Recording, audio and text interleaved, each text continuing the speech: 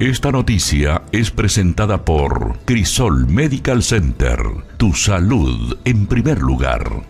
El jefe de Estado Mario Abdo Benítez visitó la construcción del Gran Hospital del Sur. Sí, nosotros, este, bueno, hoy eh, aprovechando algunas otras actividades que estaban previstas por parte de otras instituciones, tanto el Ministerio de Educación que va a hacer una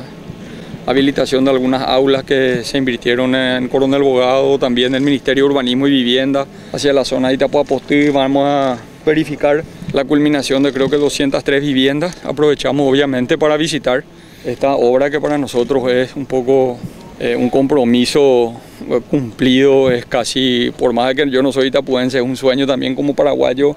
Eh, estábamos hablando acá que casi después de 40 años el sistema de salud va a contar con otros dos grandes hospitales de alta complejidad, como son el Gran Hospital del Sur y el Hospital de Coronel Oviedo. Ambos ya están en plena construcción, en plena ejecución. Este hospital está dentro del cronograma y bueno, eh, esperemos que el año que viene podamos eh, culminar estas obras y que ya los itapuenses, y no solo los itapuenses, ¿verdad? los paraguayos en general puedan tener eh, la posibilidad de contar con un sistema de salud fortalecido, con un hospital de alta complejidad aquí en el sur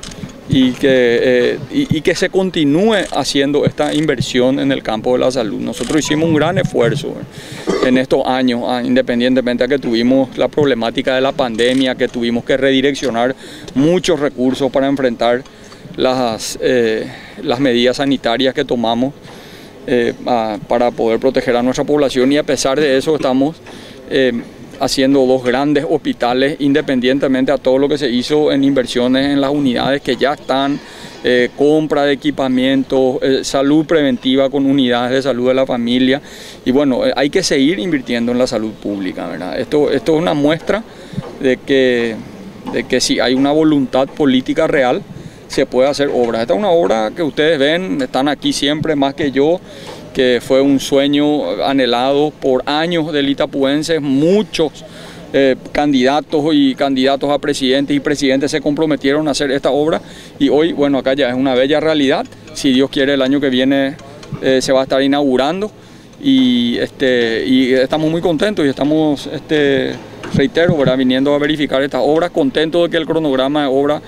eh, se está cumpliendo, todo está en plazo y eh, bueno, la expectativa hay que si este, esto continúa sin ningún otro tipo de problemas, el año que viene vamos a poder ya inaugurar este, el Gran Hospital del Sur y también el Hospital de Coronel Oviedo, eh, ministro. Esta obra representa un avance de 25%